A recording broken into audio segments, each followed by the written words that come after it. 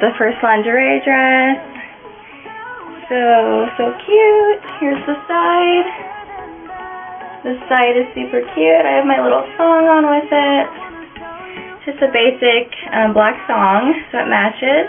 And then it has these two adjustable strings that you can tie right here on the side. We'll tie these. Isn't this so cute, you guys? It's adorable.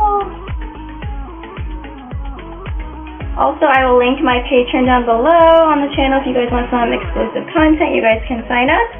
There's fun stuff on there that's too hot for YouTube. So